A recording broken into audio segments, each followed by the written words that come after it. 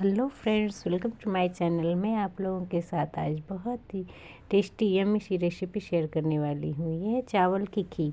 यहाँ पे मैंने दो केजी मिल्क ले लिया है और उसको बॉईल करने के लिए चढ़ा दिया है।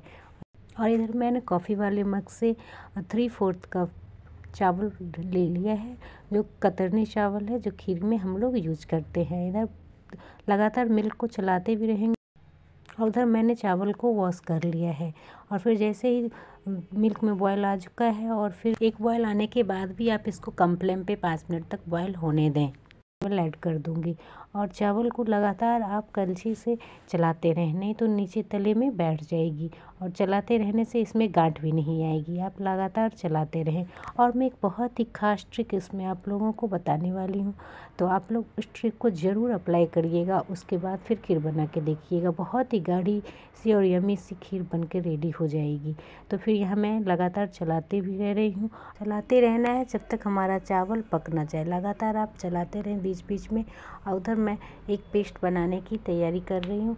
उसमें मैं आप 100 ग्राम काजू ले लें। आप कम या ज़्यादा भी कर सकते हैं। यहाँ पे मैं काजू और फिर इससे दो कलछी चावल निकाल के मिक्सी के जार में ले लिया और उसका पेस्ट बना लेना है। यही हमारी खास ट्रिक। आप इसे ज़रूर ट्राई करें। एक बार ज़रूर मेरे तरीके से बनाएँ तो फिर आप मेरे साथ शेयर करना कि कैसी लगी। देखो, मैंने पेस्ट तैयार कर लिया है। अब इसको मैं खीर में डाल दूँगी और खीर में डालने के बाद हमारी कंसिस्टेंसी तुरंत आपको उसमें इम्प्रूवमेंट दिखेगा कि हमारी खीर जो है गाढ़ी होने लग गई है और बहुत ही गाढ़ी तैयार होती है हमारी ये खीर इस खास ट्रिक से।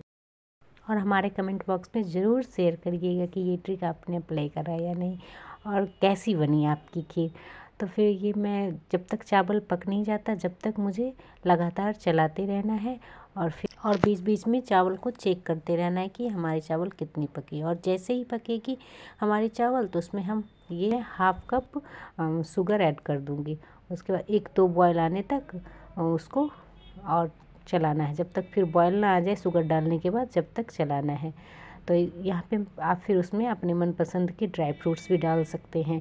यहाँ पे मैं काजू का पेस्ट डाली थी तो फिर इसमें मैं किशमिश ऐड करी हूँ और ये इलायची ऐड करी हूँ। देखिए, ये मिसी खीर हमारी रेडी हो गई ना। बहुत, और फिर ये ठंडा होने के बाद और भी गाढ़ी हो जाएगी।